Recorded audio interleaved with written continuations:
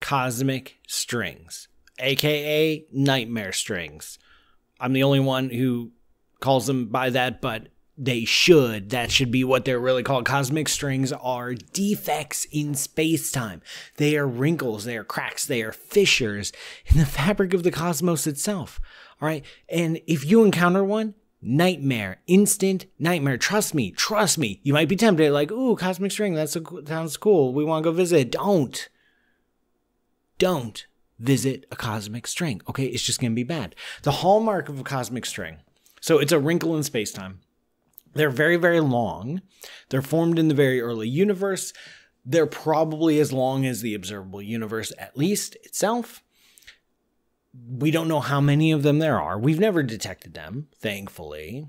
The hallmark of them is that uh, because they're a wrinkle in space time itself, if you try to draw a circle around one, by the time you get back to your starting point, you'll have you'll notice that you've traveled less than 360 degrees.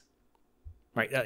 Like this is this is what wrinkles in space-time do. They they alter the geometry of space-time and geometry has to do with like lengths of circles. And so a complete circle around a cosmic string will add up to less than 360 degrees.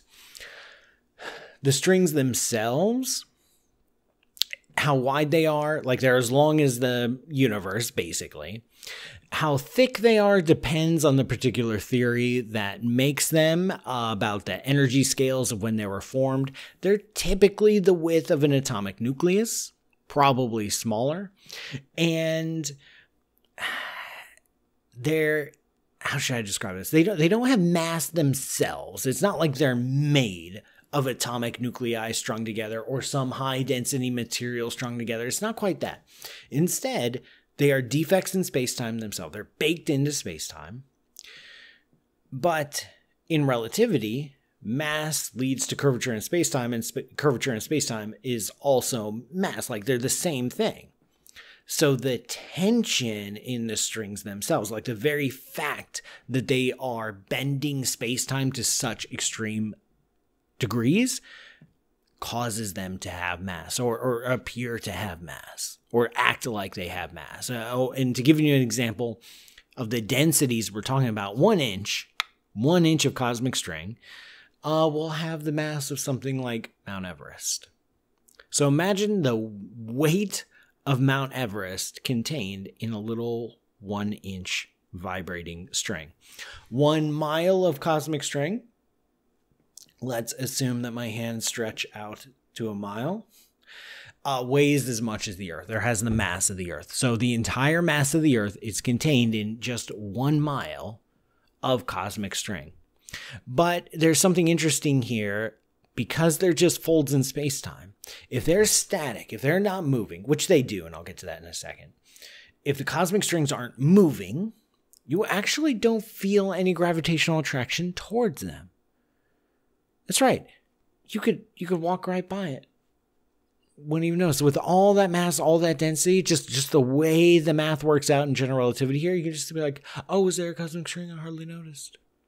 But that's only if they're not moving. And cosmic strings, they're under so much tension in on themselves. They're pulling on themselves. They're, they're constantly vibrating and wiggling and bending.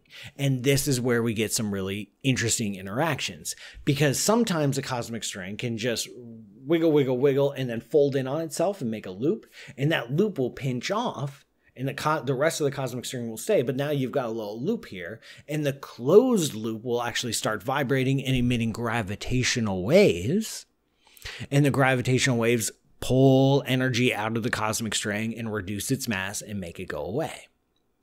Another way that uh, cosmic strings can go away is that if they're wiggling, sometimes you can get a cusp, like a really, really, really sharp point.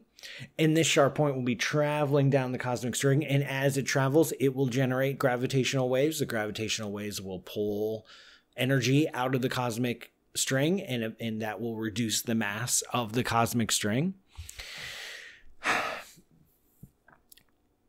And this wiggling and the gravitational waves is how we might actually detect a cosmic string.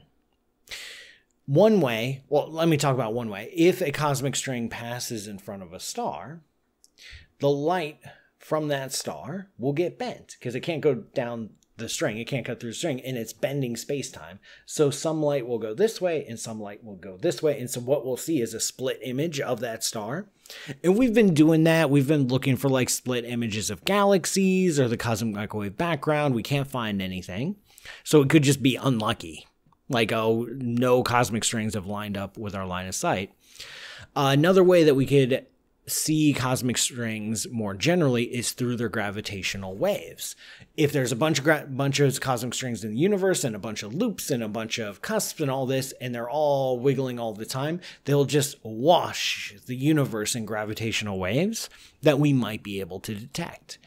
We haven't detected any through the gravitational wave experiments going on right now. It could be that they're out there, but they're too low mass or, or not enough of them that we just haven't detected them yet. And if we run our gravitational wave detectors for longer or build more advanced ones, we might be able to sniff them out. So the good, but I mean, the good news is these things that are really messed up, as far as we know, if they're out there, they're incredibly rare. And so the likelihood of them, you know, slicing through the planet Earth is probably going to be pretty low. Thank you so much for watching. I hope you enjoyed. Don't forget to go to my Patreon, patreon.com slash pmsutter. It's how I keep all these videos going. And you can uh, like, share, and subscribe, all that YouTube stuff. Really appreciate it. And watch out for cosmic strings. Please just, I, I know the temptation is there. Trust me. Trust me. Just don't do it, man.